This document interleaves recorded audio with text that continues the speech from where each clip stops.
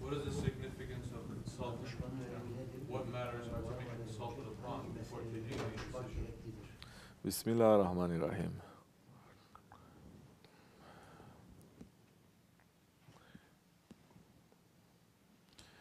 The dunya, it is a reflection. It is not real. But it is a reflection of the akhirat, of reality. And if a man is sitting down and using his intelligence and looks at how this world is run, he will understand that time how to reach to Akhirat. Here, this is beyond reading and memorizing. This is reflection, understanding. This is Quran. Because the Quran Kareem, in so many ayats, Allah subhanahu wa ta'ala is saying, this is for people who understand. This is for people, for men of understanding. This is to people who thinks. Think. Why you're not thinking? You must think.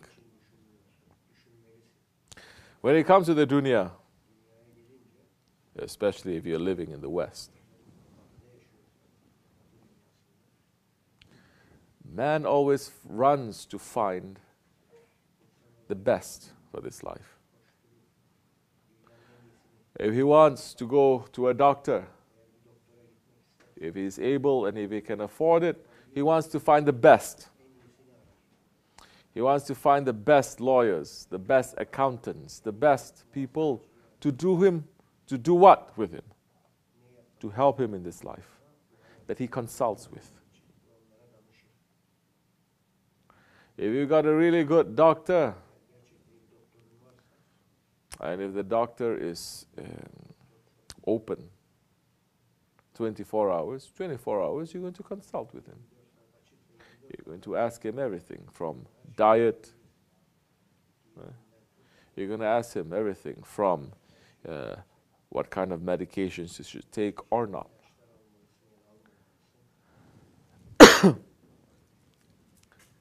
You're consulting. So why are you consulting?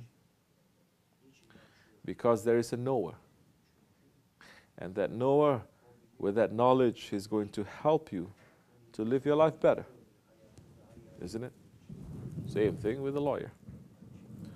Same thing with, say, you, uh, you want to sell your house. And there's a real estate agent that says it's free and you can consult with me. I'll give you the best advice. Oh. And these days, people pay money, good money, to consult with people that they don't know and who don't know them. They pay good money just to speak so that someone is listening to them. Therapists. Yeah? But they find it unusual to consult with a sheikh. Mm. So, now, when you see a sheikh, when you have a sheikh, when you have a guide, the more that you're going to consult with him, the more guidance you're going to get, the more uh, understanding you're going to get.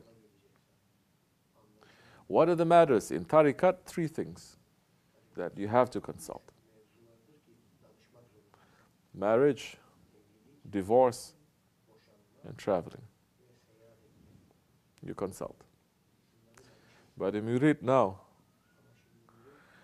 uh, he's going to consult the Sheikh to ask his advice, to ask for his blessings for important decisions that he's making in his life.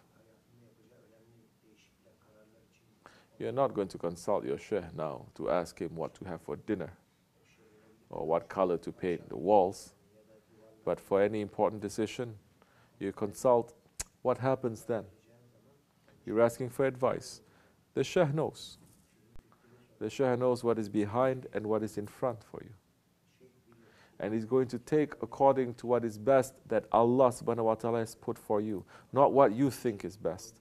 Not what your father, your mother, your wife, your husband thinks is good. He's going to Shaykh and he's saying download uh, from up there what is necessary and what is good for you according to Allah and His Prophet. So that time when you consult with him, he's going to give you the best advice. So many taking it and throwing it to garbage. We know that. So many taking it, pretending that they are going to follow, but they don't. So many following and they find safety. So many asking. And when safety is found, when they got help, so many don't even bother to pick up the phone to say, Thank you, Sheikh for praying for me. So many. If they have a problem, 24 hours they're going to call. Please, please pray for me, please pray for me, please pray. Continuously. But when the prayer works, never you're going to see them calling, even just to thank.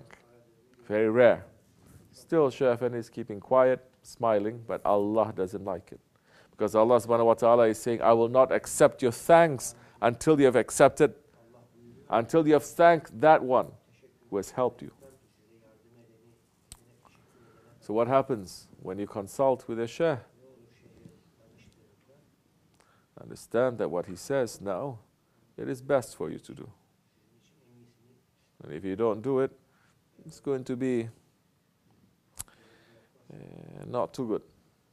It's up to you, of course. No one is forcing anyone that they consult and you have to follow it.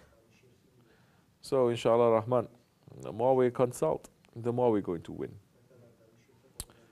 And that means that you're not just using your head,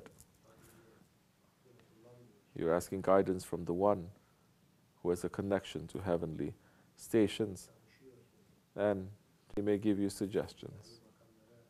Inshallah, may Allah always keep us in close consultation with our Shaykh. Assalamu alaikum wa rahmatullah. Okay. Ashka.